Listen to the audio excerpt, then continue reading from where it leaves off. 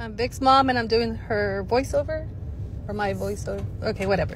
But yeah, those are Christmas cookies. No, sorry, brownies. Um, I didn't get to try them, but oh no, honey, no butt. Um, no booty. Playing with her food again. Okay, looks good.